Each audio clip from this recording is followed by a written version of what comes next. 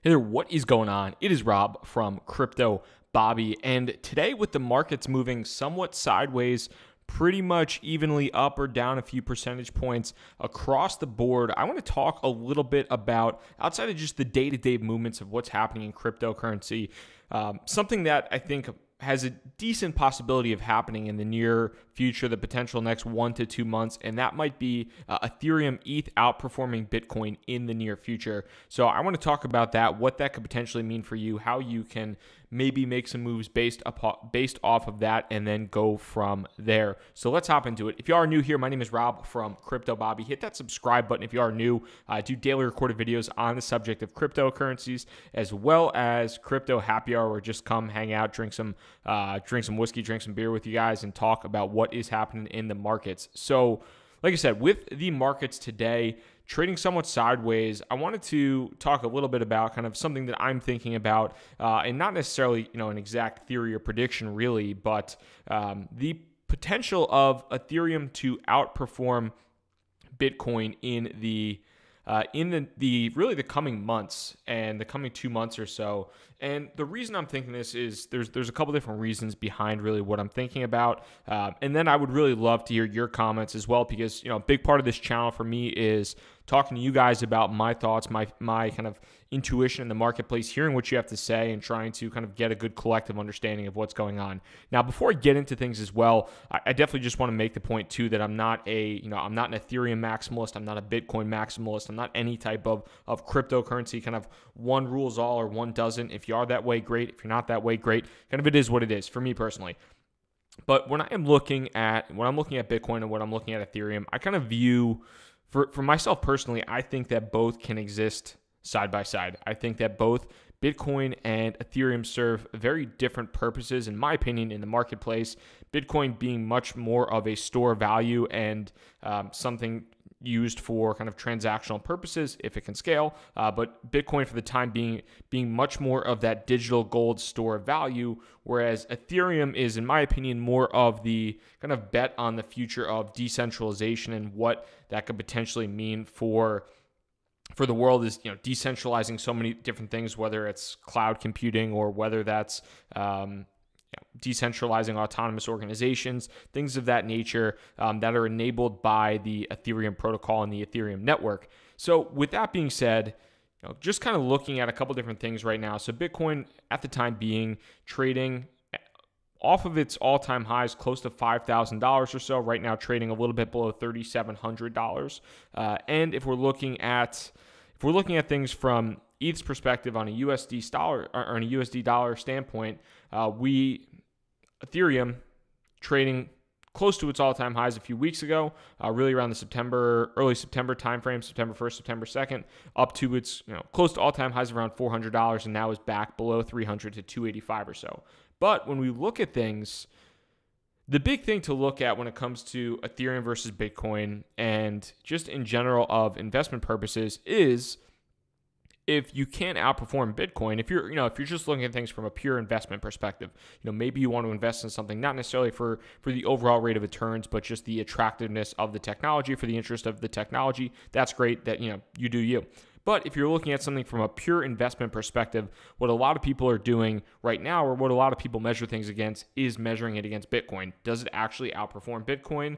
Um, and what is the ratio it trades against Bitcoin? And does that ratio improve or does that ratio decrease? Can you buy more of can you buy more Bitcoin with a specific cryptocurrency over time, or can you buy less Bitcoin uh, with a specific cryptocurrency over time? And so, if you're looking at that, and this is utilizing GDAX and Coinigy, but if you're looking at that for for Ethereum and Bitcoin, really what you want to, you know, what you want to compare is the actual I'll pull this up on a I'll make this time frame a little bit bigger here. I'll make it in 3 days instead of 1 day. But if we're looking at overall speaking on these charts, Ethereum had an incredible run back in May, back in June, and where it at one point in time from an ETH to Bitcoin pairing ratio was up all the way to close to 0.1 0.1 or really solidly at 0.14, 0.13 over a 0.1 uh, ETH to Bitcoin ratio. And that has since over the months of June, July, and August really stabilized underneath 0.1 to kind of the 0.7, 0.8, 0.6 ranges. So when you are looking at the ETH to Bitcoin ratio, it's it's down. It's cutting about half of what it was at its total peak in June, where Ethereum hit its all-time close to its all-time high that it just hit back in September as well, around that same range of about $400 USD per ETH. But at that point in time, Bitcoin was below $3,000. So now Bitcoin is back up above its, you know, back well above $3,000 at this point in time, and ETH is is significantly below where it was uh, in June at the or at the peak of of Ethereum in June at 285. So, you know, when I'm looking at things right now, I think not necessarily that it's just because Ethereum is, is guaranteed to get back to this ratio, because I don't think there's any guarantee in the marketplace. But when I am looking at things, two two main things kind of pop in my mind as far as whether or not Ethereum could potentially outperform Bitcoin in the coming months. I, am really talking about the next one to two month time frame. I'm not saying that I'm not saying that Ethereum is going to succeed in the next five years and Bitcoin is not, or Bitcoin is, is not and, and Ethereum isn't. Um, so I'm not making any type of long term, um, you know, projections here, predictions. But in my opinion, um, there's there's two really interest, interesting things going on in the marketplace at this point in time. So the first thing is the technical advancements that are going on from a scaling perspective with Ethereum. So Ethereum is having a non contentious hard fork in, I believe it is mid October at this point in time. It was just put, pushed back a week or so. So Ethereum is having a non contentious hard fork. If you just search on, if you just search online, Ethereum upgrade, um, this was this was an older article, but the Metropolis hard fork uh, and a couple other things. So if you just search online, you can read a little bit about some of the advancements that are happening. But ultimately speaking, the big thing and what is really, in my opinion, going to potentially drive the price action of Ethereum is during this hard fork if the transactions actually scale with with Ethereum. So there is, you know, with Ethereum right now, if you didn't actually get a chance to see um, Vitalik Buterin, the one of the founders of Ethereum and kind of the one of the big figureheads, he had a conversation. He had a uh, talk at TechCrunch Disrupt. Uh, Disrupt. I'll link to it again up here. It was, it was in the last week or so, uh, but I'll link to it up here. And with that being said, he had a conversation at TechCrunch Disrupt. One of the big things that I thought was kind of taken out of context, but was was a good nugget of information, is in regards to his overall thoughts on when Ethereum can can scale. And the, the example that was used was Visa and how Ethereum could potentially scale to the transaction size of to the transaction frequency of Visa. And right now, it's Ethereum is, is absolutely Ethereum and Bitcoin are nowhere near the, the the scalability of something like a centralized system and company run like Visa that does you know hundreds and thousands of transactions per second.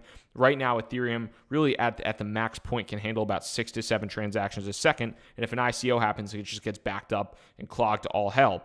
But if Ethereum can and what the you know one of the big premises of this hard fork that's coming up and the improvements is outside of just privacy with zk snarks one of the big things that they're looking to do is increase the scalability of ethereum. If if ethereum can scale to two three four times of what it is right now whether that's 20 you know 15 20 25 30 50 transactions a second i think you're going to see a significant price rise with ethereum because that's one thing that's really holding back the space right now at least from ethereum standpoint. And if it seems to me like a lot of the developers in the Ethereum community are all on the same page, or the majority of them are on the same page, and they're working together towards the goal of increasing scalability and increasing the Ethereum network. So that's kind of the, the one thing that I think with the Ethereum hard fork going into place, the non contentious hard fork going into place in mid October, if that can truly scale the transaction capability of Ethereum, I think you're going to see a nice price increase in Ethereum. That's just kind of my personal opinion. It happened the last time they had um, you know, some significant improvements within the Ethereum network. So I think we might see a similar result here. But outside of that, you know, kind of the other point as well is while I think that Ethereum might be improving the transaction scalability and improving the um, really just improving the Ethereum protocol and the Ethereum network as a whole. Bitcoin is is going through a pretty contentious period. If you know you're not too familiar with what's going on with Bitcoin, there is a heavy debate around SegWit 2x and whether or not there should be uh, essentially whether or not Bitcoin should 2x the block size. And that is leading to uh, a pretty contentious debate, a pretty a pretty nerdy debate that, that's going on right now. If you're on Twitter, you know, you see people with the 2x in their headlines, you see no 2x in the headlines, you see a lot of people going after each other in pretty negative manner, which is almost unfortunate to see in my opinion. But with that being said, there was initially planned with the New York agreement, which is a, a, small minority of people in the Bitcoin community, but a very powerful number of people in the Bitcoin community got together with the New York agreement and came to this conclusion of, okay, we're going to run SegWit 2x. And now a lot of people are saying, hey, we weren't included in that agreement. We never gave you permission to speak for us, and we don't want to run SegWit 2x. We don't want to double the block size. So now, not only is the you know the whole Bitcoin Cash thing that went down in August happened, which is you know your second Bitcoin per se, um, but now there are people that are saying that Bitcoin Core and the or Bitcoin Core and then the SegWit 2x community might split as well. So there is potentially going to be three potentially, I'm not saying this for, for certain, but this is, you know, some of the rumors and some of the people talking in the space are saying that you could potentially have a, a Bitcoin, a Bitcoin SegWit 2X, and a Bitcoin Cash in November. And even if that doesn't come to fruition, I think the uncertainty isn't necessarily a great thing.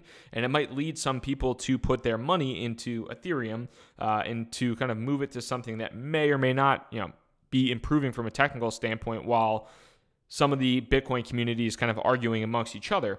And you know, holding it back, not holding it back, it's it's kind of hard to determine at this point in time, but there's just some instability within the Bitcoin community right now. So those two things together lead me to somewhat of the conclusion that I think Ethereum for the next month to two months, let's say over the, the month of October November, might be able to you know, get back up to its kind of all-time highs against the or or not necessarily I mean that's pretty aggressive too to get back to the all-time highs. I mean you're talking about essentially if if Bitcoin stays stable at the rate right now, you're talking about basically a 2x in Ethereum's price if it gets back to those all-time highs, which would be which would be pretty strong. It'd be over, you know, $500 or so, which I think is certainly possible, but it's a strong movement.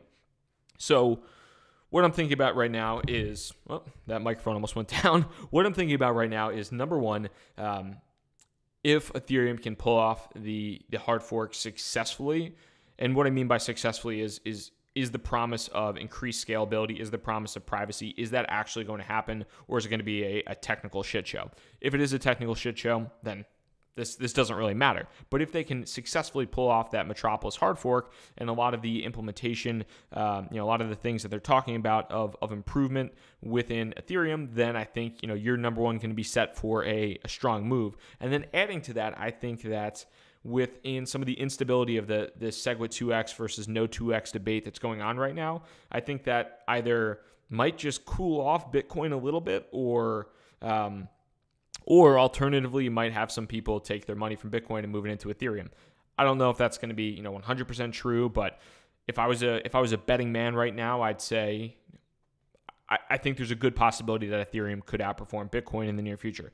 Does that mean that long term that Ethereum is going to be the best platform for decentralization ever? No.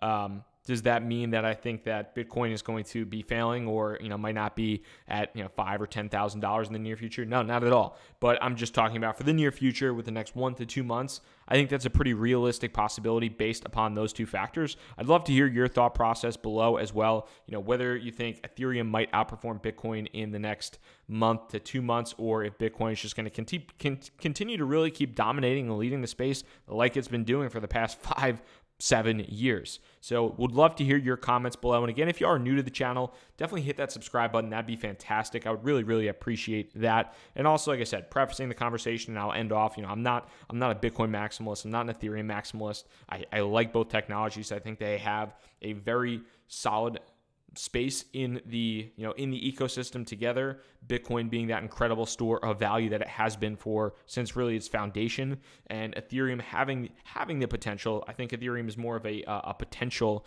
kind of moonshot of having that decentralization potential you know whether it's icos whether it's decentralized autonomous organizations whether it is um, you know kind of decentralized computing or decentralized this or decentralized that um, that's that's kind of my thought process there. So thank you so much for your time today. Hope you found this video enjoyable. Would love to hear your comments below and hit that subscribe button if you are new. Rob from Crypto Bobby signing out. Have a good one. Peace.